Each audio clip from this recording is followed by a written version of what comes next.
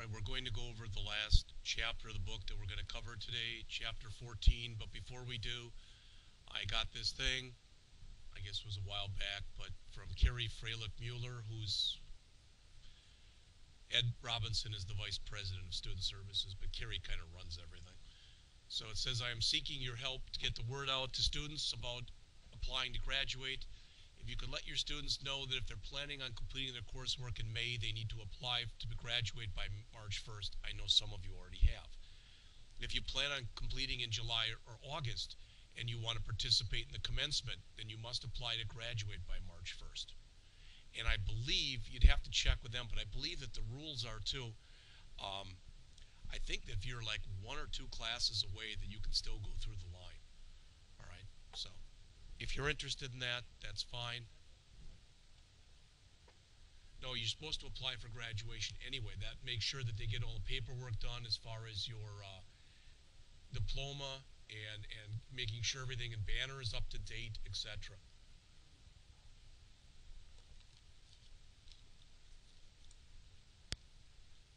Right.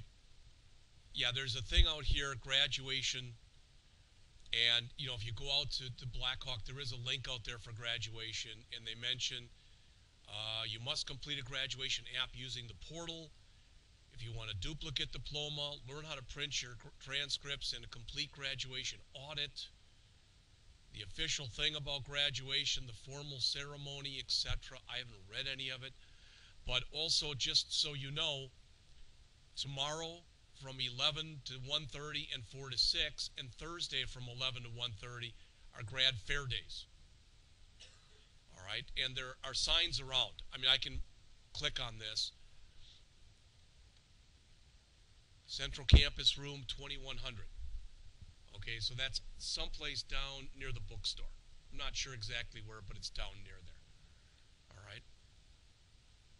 Now, do you have to go to that? No, but as it says, you can order your cap and gown if you want. If you do want any graduation photo, announcements, rings, this is a good thing to do. Sign up for career and professional services if you haven't done that already.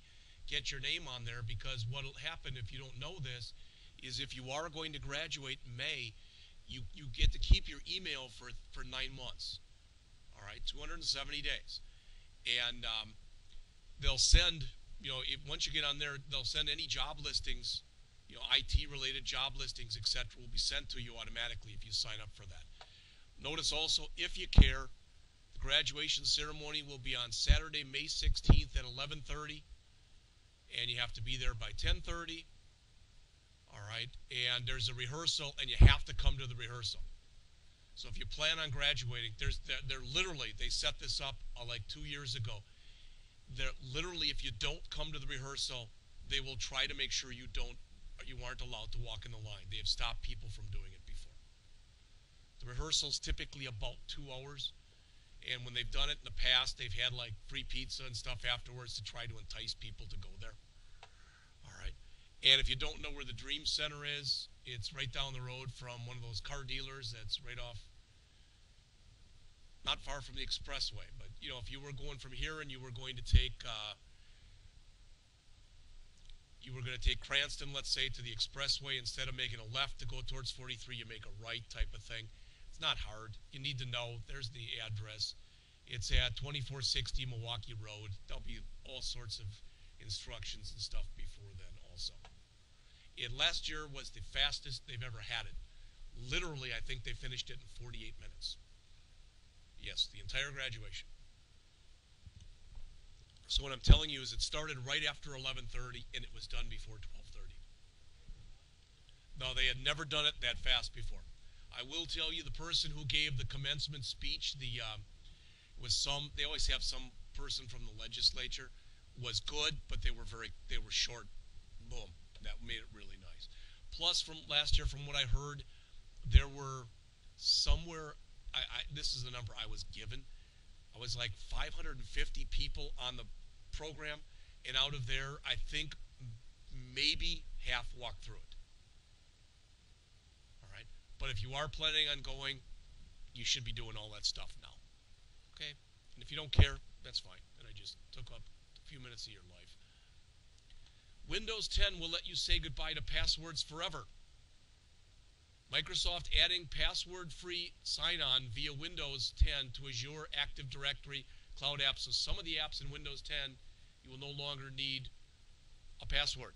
And they're saying that's basically good news and bad news. It's good news because if you're the kind of person who forgets a password, and depending on how it's set up in your IT, that's a good thing. It's bad news in, in that is that going to make it easier for people to crack and get into things they shouldn't get into? We'll see as we as we you know go through this. All right.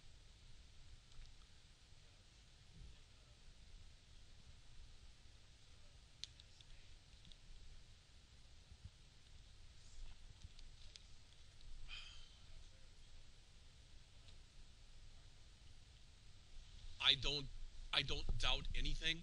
And if you talk to, to somebody like Doug Tabbitt, he'll tell you that he believes at least 50% of all computers that are running on people's homes that are hooked up on the internet are zombies. In other words, there is somebody already, someone in control of them. All right, you clicked, you clicked something at one time, or you did something at one time. If you don't know where the zombie thing came from, is you actually can sign up with with different companies that use super supercomputers and the like that says that, that basically if you're not using your computer, if it's on and you're not using it, they can grab some cycles and do some work with it. All right. Don't want to go into it any more than that. All right. So, yes. Yeah, it's not all bad. I don't mean to. I don't mean at all to say that it is. Yeah. Right. Yeah. That's always good to know. All right. Um, if you do go out to the P drive for the class, you don't have to do this. Where there's there's three or four basic things that are discussed in this last chapter. And again, my goal is to be done with this by 11 o'clock. All right. But if you do go there, the, the CH14 folder, as far as I know, the stuff that's in there works. Now, you're not going to be able to run it directly.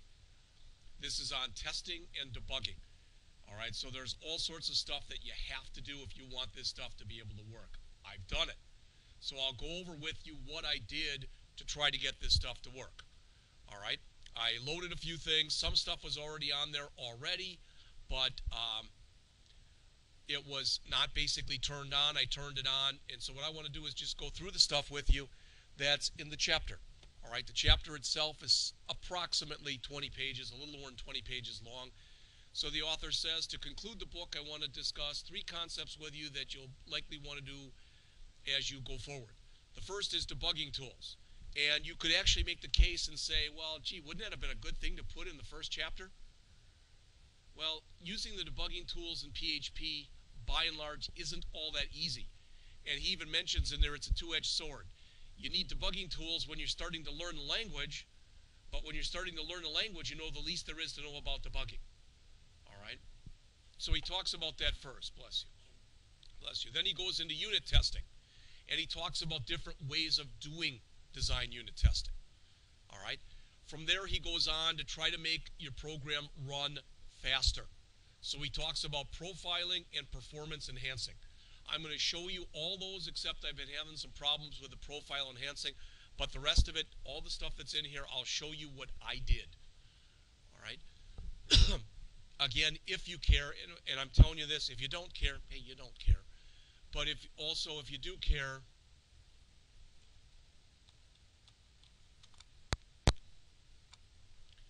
you know, in the in that in-class folder for today, not only is there the CH14 stuff, and you notice there's not many scripts in there, but there's also a thing I called articles where I, I got a bunch of information.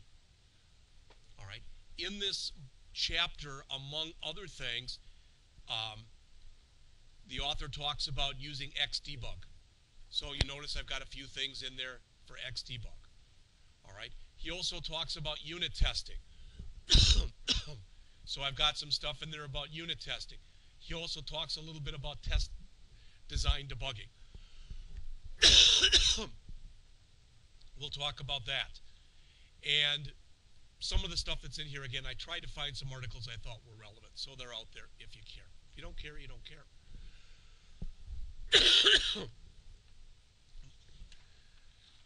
Hopefully you all can hear this. I'm battling a cold. Uh, I thought I was winning up until yesterday, but also find out just how bad Dayquil tastes. If you've never drank that stuff, I just can't stand that. Yes, it does. Not, it's not as bad if you if you hold your nose while you drink it, but then you can feel it inside, you know, and you can kind of sense that smell. So that was interesting. All right. So, Ullman mentions three of his favorite debuggers in here. And that's Advanced PHP Debugger, and he shows you where you can get that. DBG, which is another PHP debugger, and Xdebug. Now, you may or may not be aware of this, but Xdebug is already installed under XAMPP. That's the good news. The bad news is, even though it is there, even though it's installed under XAMPP, let's see if I still have that open. No, of course not.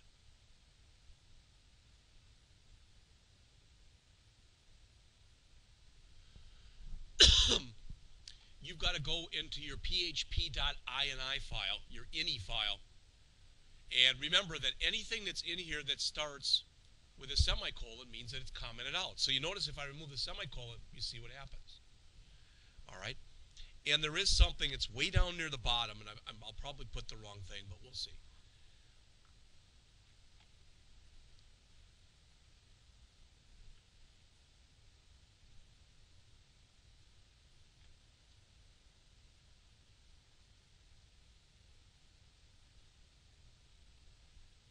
So you can see how much of the stuff in here are comments. Those are all things, again, that you can turn on and how much of the stuff in here is actually turned on.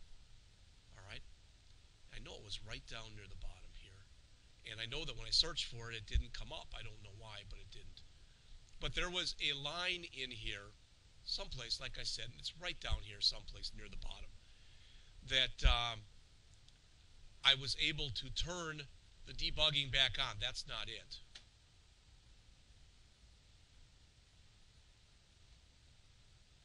right there. You know, do you know what a DLL file is? Do you know what DLL stands for? It's a dyna dynamic link library file. It's basically an executable that you can use. And the Xdebug is right there. It's always been there. It should be right there under your XAMPP PHP ext folder that you have under XAMPP. The point is, by default, yours all look like this and so did mine, meaning that it was turned off. Now it's turned on. That's all you literally have to do to turn it on. You save, and then you have to get out of XAMPP and start it up again for the change to take place. All right, so that's one of the first things he says. A little later in here, he'll talk about working with the profiler, and I want you to see that, so I'm going to run some stuff later to show you what happens when you do that. But as you can see, with almost 2,100 lines in here, there's a boatload of stuff. And as already mentioned, if you peruse your way through here, there's a lot more stuff that's turned off in here than there is turned on. All right.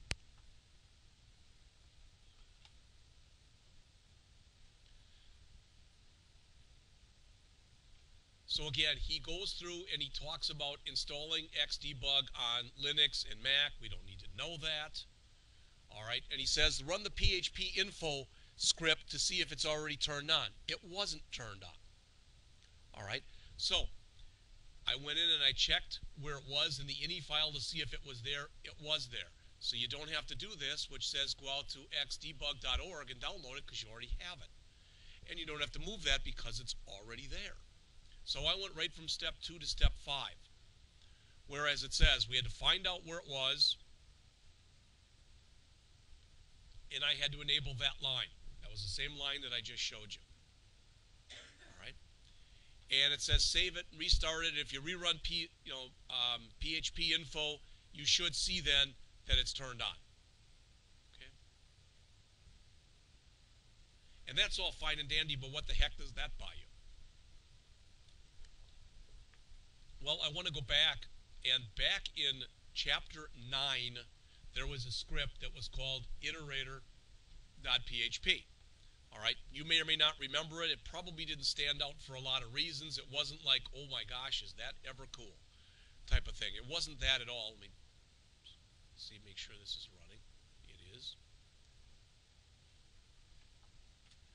But if you remember back from chapter back from chapter 9 when we ran this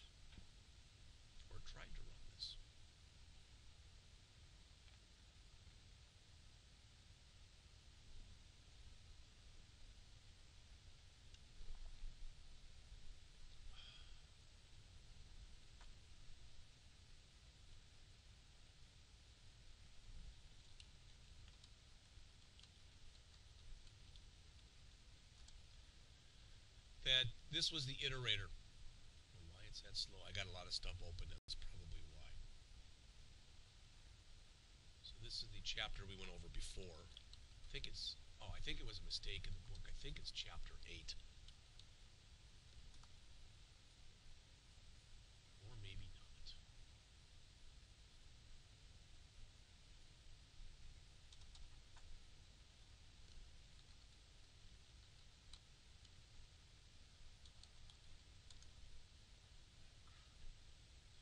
It's it is chapter eight, and it's in that one.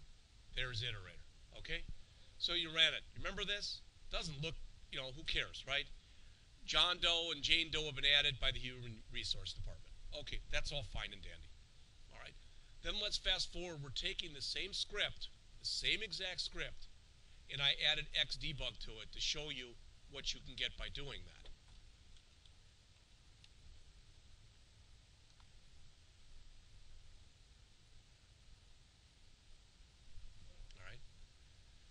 So what we did, what I told the system to do here was to dump all of the super globals. Now, if you look up on the screen here, can you see where this might help when you're debugging, when you're looking for different things? All right. So if you needed to know exactly the name of your server to double check it, or you needed to, you know, the, the port you were running on, or whatever. All right. And then I came in and I put a mistake into the script and I ran the same stuff again. Okay, so I want to show you, literally this hardly took any code. And I turned everything on. You don't have to turn all this stuff on. I turned on all the super globals. But I want to show you what I did in order to get this to show.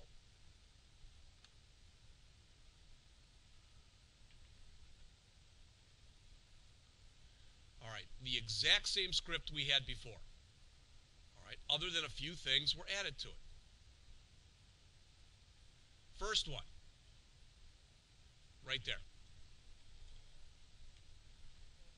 I had to tell it in my ini file, I wanted it to do a dump all of the server variables. That gave me all that stuff that you saw at the top of the screen. Okay? And after I did that, literally the command to do it was xdebug dump superglobals. That's it. Then I put in an error, all right, and I kind of told it to do it again. Now, I want to show you one thing, because, you know, I, I saw some people making faces like, I would never want to use that. Well, never say never. But I'm going to take this, and I'm going to comment it out, all right? And the reason that I'm taking it and I'm commenting it out I'm going to, all this stuff where I introduce the error. All right, so I'm taking all this stuff. And all I want to show you is just this code right there. We've used var dump before. You may or may not remember it, but we've used it before. All right? So just doing that by setting up the debugger and just doing that. Okay? So again, you've already seen this, but I want to show it to you one more time. I think it bears repeating. So if I show you this one, this is from chapter 8. Okay? But um, that's the after picture, not the before picture.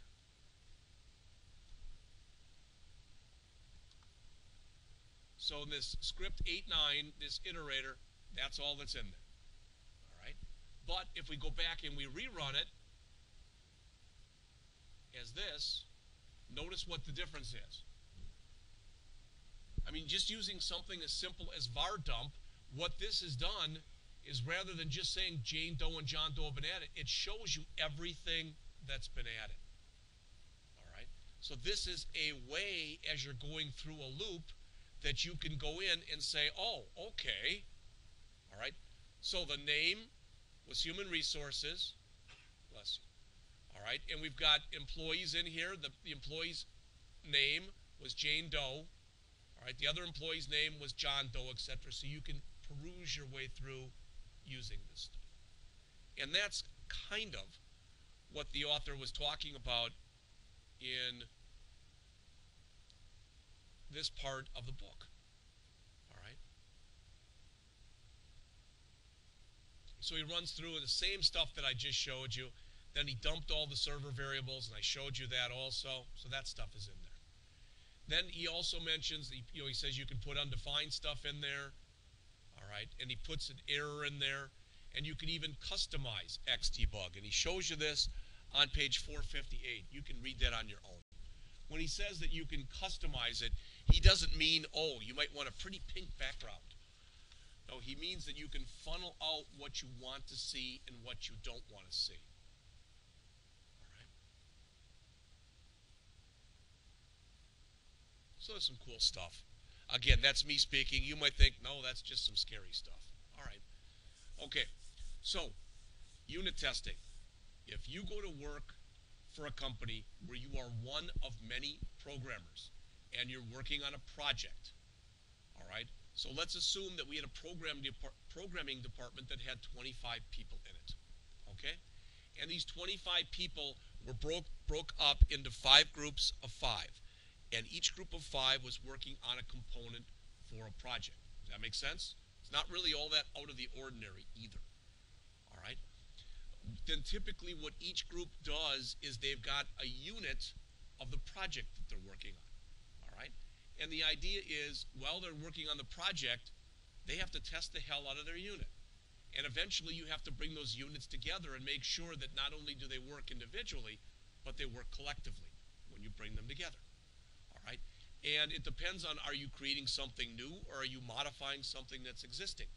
Because if you're creating something new, it's actually a little better because if you're modifying something that's existing, not only does your stuff have to work and work together and work separately, but you can't break anything that's already there. So that's what he talks about in here. And he talks about why you test. Testing will ideally minimize bugs. It'll help you improve your design. It'll assist in creating documentation for your code. The first document that I ever created when I was at AT&T was I had to do a design unit test document. I had approximately 500 different tests I had to run on my code. So I had to take, for each one of those 500 tests, I had to write a little prologue. This is what I'm doing. This is what I expect. This is the test. Then I had to run the test and afterwards say whether or not it worked. So the first document that I created was over 500 pages long. And it became part of their official documentation. All right. All right. You're less likely to break code and introduce errors as you make changes down the line. Okay, it says learning how to implement unit testing involves both syntax and theory, and the author talks about both. I don't want to read to you. But the idea is you're trying to make sure your stuff works as well as possible, both individually and collectively with every other part of the project. And that's what he's talking about in here. All right? now, he mentions that one of the most popular PHP design unit testing, the, the things that are available, is PHP unit. All right, so if I go out to here, It's phpunit.de. Okay? And he goes through in the book and he talks about when you're doing all this stuff, basically what you have to do. All right, so literally, you know, if I wanted the most stable release, I could go to here, I could save it out to my PHP directory, etc. And as we go through this, I'll show you what I did in order to do that. So, so far he has talked about Xdebug, and now he's getting into PHP unit. Before he does, he says, hey, just so you know, there's another thing that's called test-driven development, TDD, that's kind of the opposite of what he just talked about. This sounds a little bizarre when you hear this. All right, but a lot of firms do this now. When you've got test unit development, what you do is you write your tests first, then you write the code to make the tests work. And when you think about that, it might sound a little ass backwards. Because, I mean, think about it when you're in class here. I don't typically give you a test and then and then teach you the material. You normally taught the material, then you do the test. All right? But the author mentions that when you do this TDD, as it says, you won't write, you end up writing tests to match the code. All right? It says, besides, unit testing does this. You have targets to shoot for. So TDD is related to the concept of extreme programming. You've never heard of extreme programming, it's got a lot of things involved in it. One is that pair programming that we talked about earlier, P-A-I-R, where you've got two people who work together for one to two weeks, and typically one day the first person just inputs stuff into the computer and the second person tells them what to input. Then they trade off every day. Now there's there all sorts of different variants of that. All right, but that's one thing. The other thing with extreme programming, I, will always remember this. The first project I was ever involved with at AT&T, it was on CSS, which stands for Common Channel Signaling, not cascading style sheets or, well, that's CSS, but it was C, C, Common Channel Signaling, CCS. All right, and we had this big timeline. It was about as long as this wall right here that said how long everything was going to take. And I remember because the the end dates were all 84 and Ken Paker, who was a friend of mine, who was our project leader, walked up onto the timeline as we were into it about a month, and he took all those fours and he put an X in them and he made them into fives. And we said, "What are you doing?" He said, "We're gonna we're gonna miss our goal by a year. We're gonna do it. And It's gonna be really good, but it's gonna take a year longer than they think." And I said, "Why?" And he said, "Basically, because I've been working with these nitwits who are out in New Jersey that we have to work with, and they're all fumbling idiots." and it's going to take that long before they understand what we have to do. He was almost dead on. All right? That doesn't cut it today. With extreme programming, what you do is instead of having one project with this one big goal, you'll typically take your project and break it up maybe into 10, 20, 30 mini projects. And each one of them have a timeline uh, quite often of one to two weeks. So this testing and writing tests and being as prepared as you can, as quickly as you can, becomes much more important. All right? So,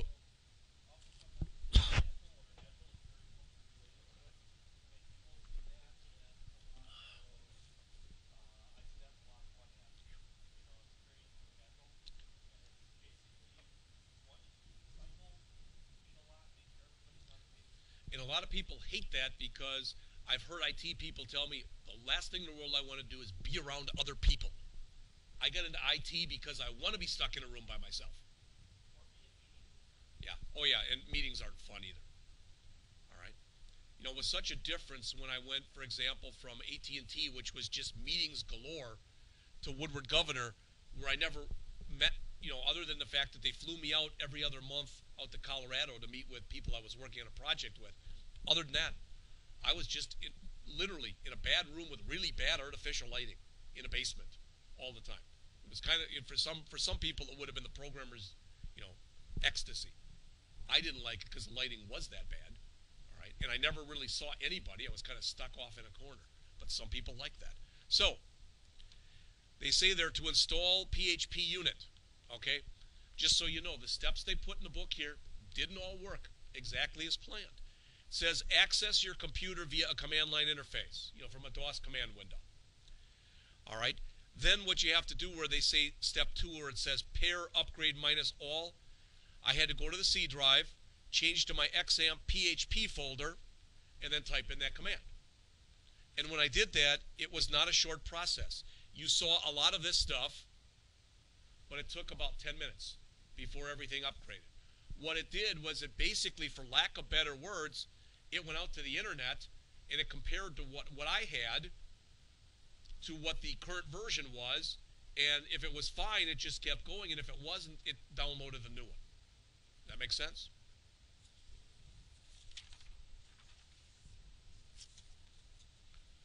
All right. Then on the next page, they say, well, then the next thing you have to do is install PHP unit. Well, I followed all their steps, and it didn't work for diddly. Really, it, it was just a cluster. So I went online, and I took what I what I found out on Stack Overflow, and I put that out there on the, under that articles directory. So what one of these Stack Overflow articles said so I, I, basically Googled the problem I was having and the error I was having, and somebody had almost the exact same error.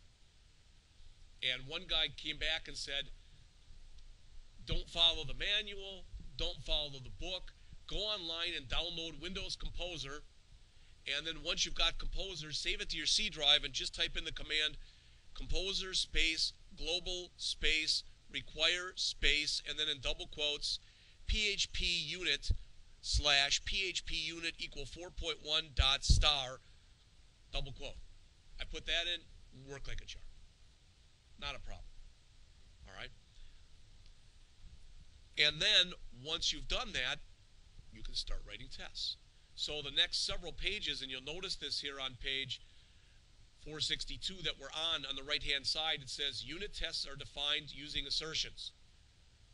Now, I don't disagree with what the author says there. An assertion is a programming concept that says, confirm that this is the case.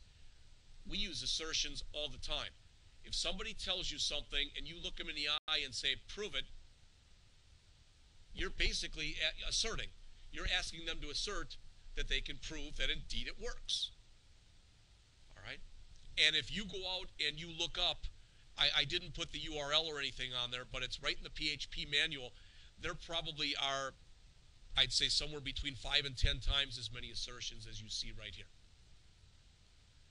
And you can put all sorts of assertions into your code. When you put the assertions into your code, you may or may not be able to see this. Right, see those periods right here and right here? That's how many assertions you have. And if they all work, you get a period, which means that they were true. And if they were false, that means what? They didn't work, so you're going to get an error message. Okay? Now that may or may not make sense, but I'm going to show you an example of it in just a second. All right? So he gives you some examples, but they're, they're so ambiguous almost in nature. This would say that haystack contains needle. That's an assert contains. This, would, this is an assertion basically as it says. It says this is the equivalent of saying, okay, you've got an array called haystack and you're looking for something called needle. If it's in array, echo you know, or if it's not in the array, rather, echo that the test failed. So you can check for anything.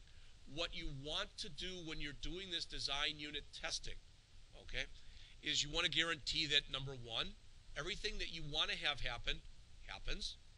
And number two, not if, but when things fail, that your program handles it correctly.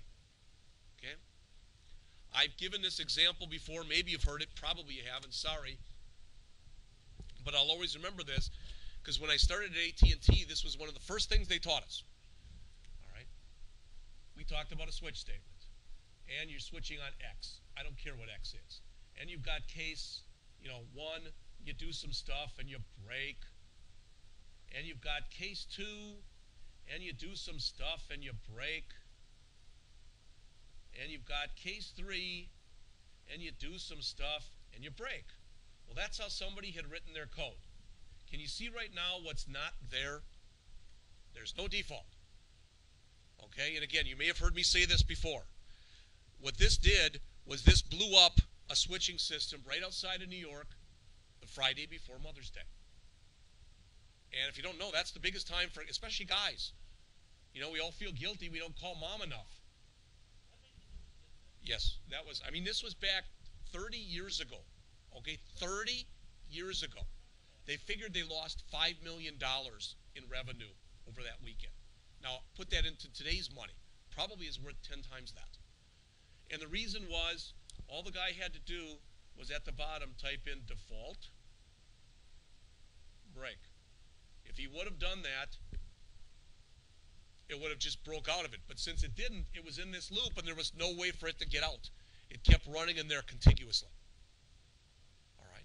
So that person had never tested, no, it wasn't me, but that person had never tested to see what would happen if that happened. No, from what I heard, they didn't fire the person. I mean, he had very good rationale for, and it was a good programmer. Was an oversight. Right. So they go through a lot of different things and running test cases and, and a lot of other stuff. So what, what the author does here on page 464 is he goes back and he says, hey, let's go back and try something real simple. Okay, so let's go back and try a test on a rectangle. Now, you may or may not remember, but if the width is 8 and the height is 9, and you want to figure out the area, 8 times 9 is 72. So we're doing an assertion here to make sure indeed that works. That makes sense, right? I mean, hopefully at least it makes sense. So if I come through here and I come back to here, and now I have to go and literally bring up a uh, command prompt window, change to the C drive. I'm doing that right now. Change to XAMPP. All right. Change to uh, htdocs. And change to CH14. All right. All right. So now I've got, I'm going to go one more. I want to go to C, CD to script 1403. All right, and I do a DIR there. There's what I have. Okay? Now, if I try to run the test from here, so in other words, if I come here and I go, oh, 14.3, oh, there's my test. It doesn't know what to do because it's trying to run the PHP unit test work, but it's not meant to be run from a uh, from a browser. It's meant to be run from a command line. All right. So if I run that same test, so all I have to do here is say PHP unit rectangle test. I don't even need to say the .php. See how it worked? All right. See the dots there? Now, I, I don't expect you to go, oh my God, what? how fantastic. But just so you have seen it. Now, and the reason I'm showing you that is I'm going to come in here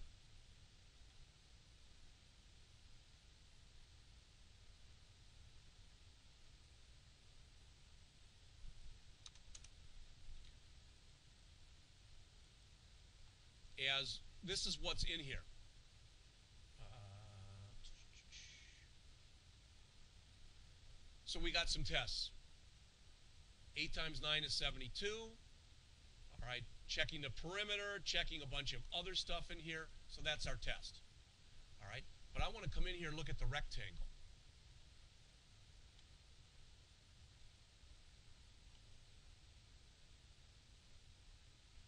Because in the rectangle, when we create the rectangle, this is where we're coming in and we're checking everything.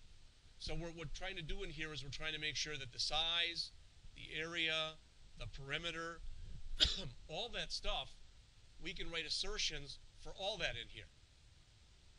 Okay? Well, that one you already know works, but what if I do this? I'm going to grab that line.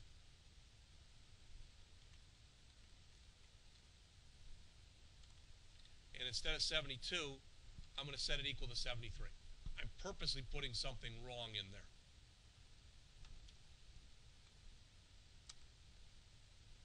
All right, now it tells me that there was an error. All right, this is kind of a crude tool as you get, and you can probably get it. But when you go through it, all right, as you go through it, you can write your tests as many as you want, as simple as you want. You can run tons of them at one time. All right. That's pretty much what he talks about in this particular section that we're in right here.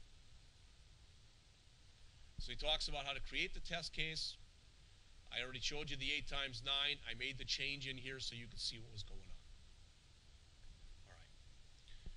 typically what you do, as they mentioned, is you put a whole bunch of tests together that belong together. And that's typically, that's referred to as a test suite. You run them individually, and once you're happy with the way they're working, you run the suite collectively. There might be hundreds of tests, and they should all work. All right, if that's the way that you design them, design them to work, rather.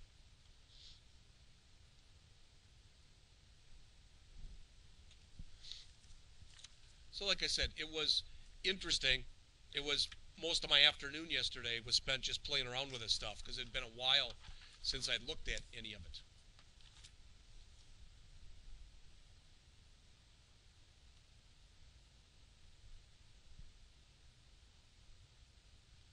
And this was the one I went into and changed it from 72 to 73. Okay.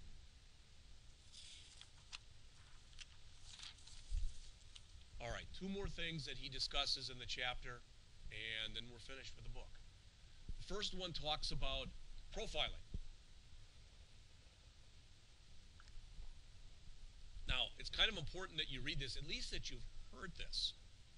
It says profiling is the process of analyzing a script to see where there may be performance bottlenecks, slow bits of code, etc.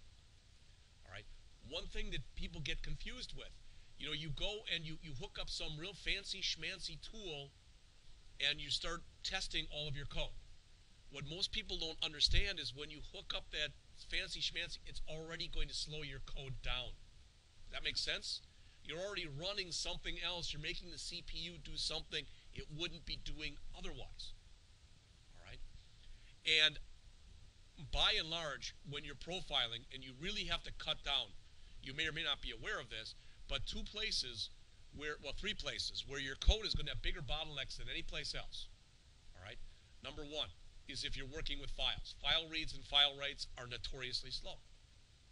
Going along with file reads and file writes are database reads and database writes. All right? So that's that's two of them right there. And the other one is true exception handling with try catches. Because when you create a try catch block and it does the catch, it has to create a new object. It's going to slow stuff down. So what he asks you to do in here, and I did this, I went out to Git, GitHub and I installed this WebGrind tool.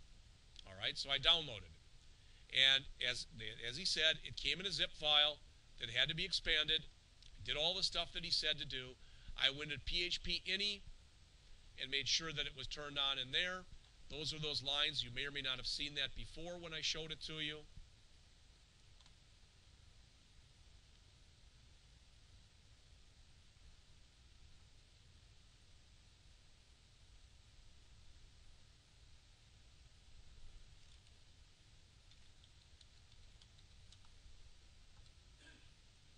To turn all these on.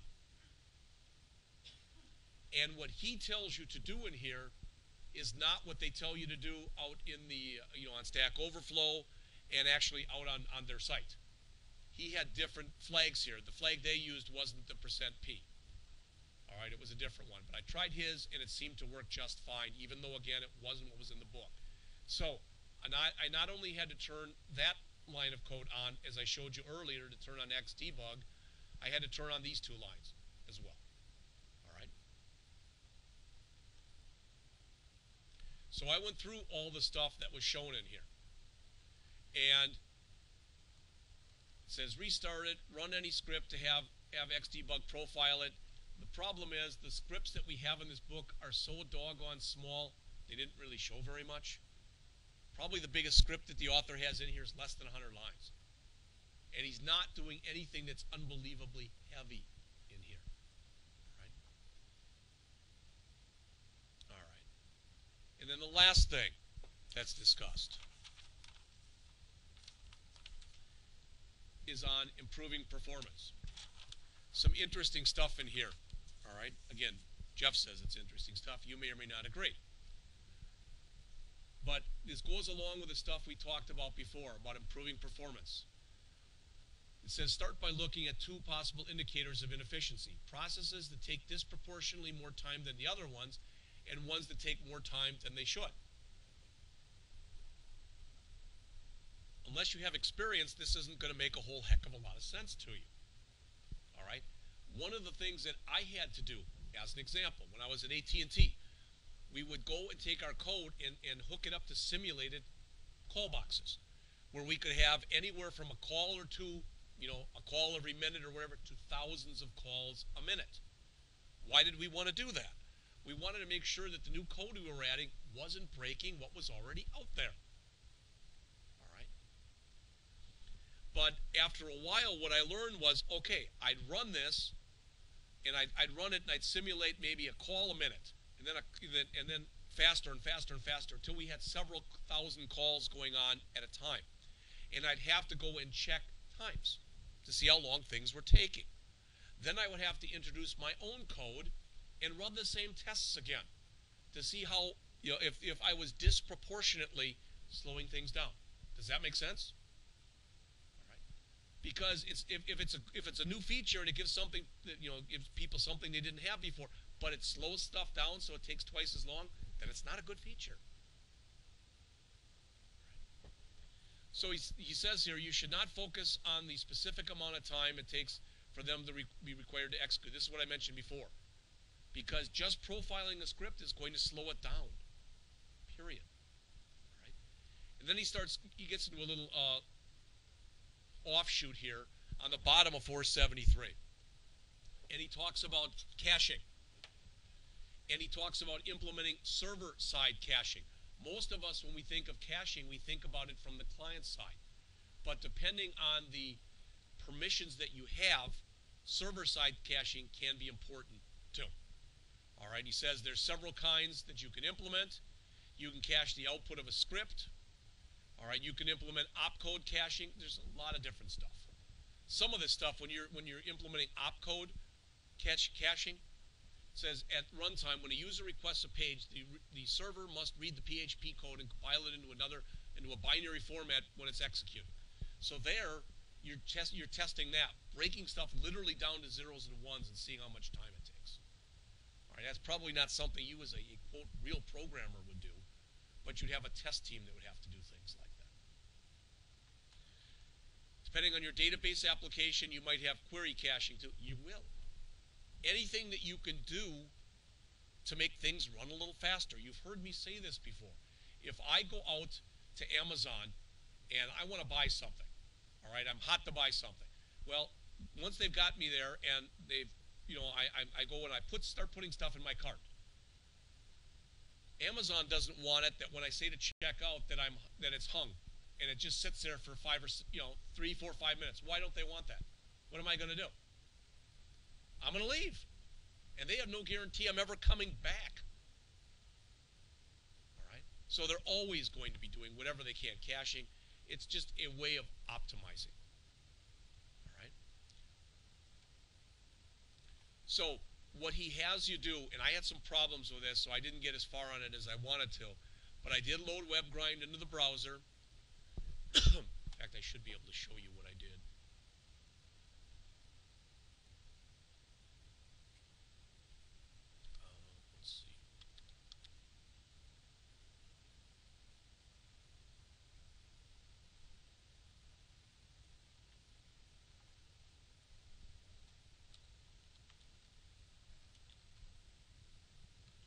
might get an error because I have to remember where I put it. And that starts it up. And what you have to do in here, and you have to know a lot more about it than I do. All right? There's a way to do this, and, and after this, you put in the name of a script. All right? And it'll run it through here. And it'll start showing you where you've got potential bottlenecks. All right? You need to have a lot more experience than this than your instructor. Because I used to do this stuff, but it's been 30 years. Gee, it's changed a bit. All right? But people do things like this because you want to go through, and especially if you've got something that's real-time sensitive. And I go back to the standard example I've given you for two years. Back when I worked for AT&T, so you had rotary phones You pick it up. If you didn't get a dial tone, most people within three seconds, they hung up. If it was a long distance call, that meant the phone company was essentially losing money. You couldn't do that. So we were always doing something to try to make sure that you got dial tone as soon as possible. All right.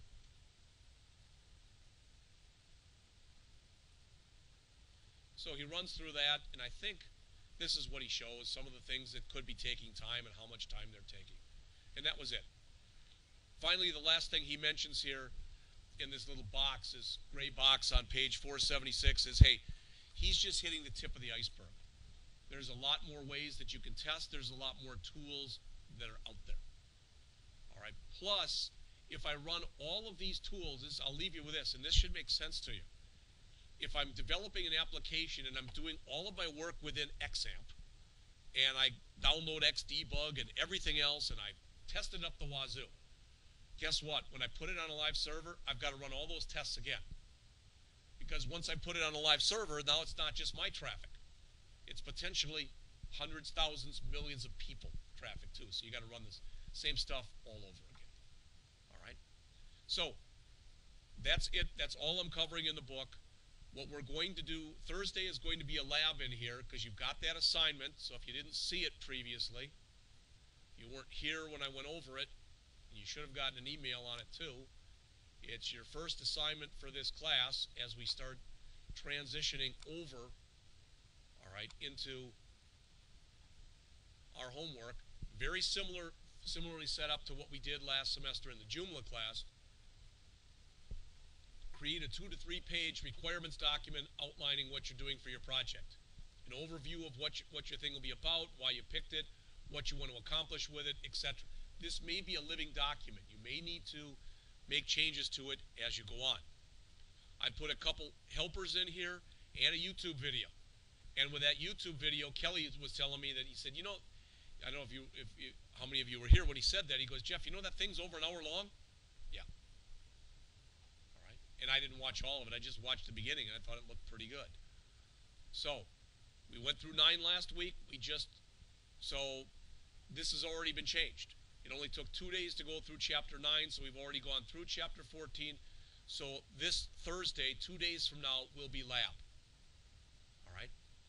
And as it says, from Tuesday 224, so a week from today, through Thursday 326, unless we get done earlier, we'll be working on the movies project. We are going to do that. All right? First, and I didn't know if this would be worthwhile or not. Remember how earlier in the book, um, I don't remember what chapter it was, but in, in an earlier chapter, we kind of wrote that simple blog. Remember that that stuff that we looked at? It might have even been last semester. I don't remember. I'm in the middle of rewriting that using object-oriented PHP, just so you can see the difference. It won't look any different to the naked eye, but the code will be different between doing it with procedural PHP and object-oriented PHP. So if I get that done by Tuesday, we're going to do that next Tuesday and then we'll start on that project on uh, Thursday. All right. So as it says, after we complete that movies project, and I'm going to give you the code. I'm just going to walk you through what what what what I did and what was kind of done for me. All right. And after that, the rest of the semester, so it'll be sometime, you know, all of April and those two weeks in May, all right, are going to be for you to work on the project. And as I've said before, you know, this is based on quality not quantity. And you are going to be presenting these. It's the 17th, so it's less than three months from now. The 14th, I believe, is the last day we have class. Yep, that's going to be the day, between 10 and 12. I hope to have about a dozen people in here, most of them external. These are people that you are parading around for, you know, and performing for, for lack of better words. I get up there, I don't introduce any of you. I get up there and say, we've got about eight students here today who are going to present their projects for you. You get up and you introduce yourself, and it's yours. The stage is basically yours for about 10 minutes. All right? That's all that I had.